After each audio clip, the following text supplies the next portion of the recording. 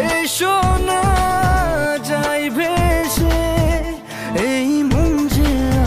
কিছু ঢাকাই সিনেমার দুই নায়িকা, অপু বিশ্বাস ও শবনম বুবলি, প্রকাশ্যে দ্বন্দ্বে মেতেছেন। হীরের নাকফুলকে ঘিরে তাদের এই দ্বন্দ্ব। স্ট্যাটাস দিচ্ছেন পাল্টা পাল্টি।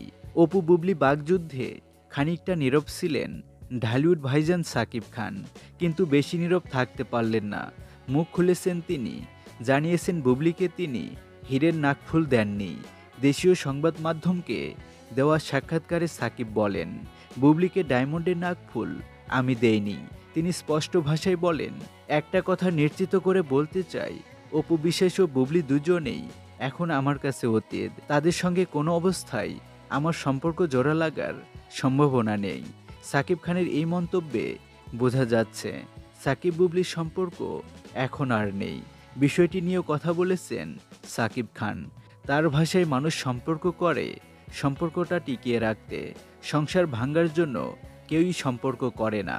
আমি তেমনটাই ভেবে করেছি, কিন্তু সম্পর্কটা করতে গিয়ে একটা সময় দেখলাম, তার হেলদি জায়গায় নেই, চেষ্টা করেছিলাম, কিন্তু সব চেষ্টা ব্যর্থ হলো।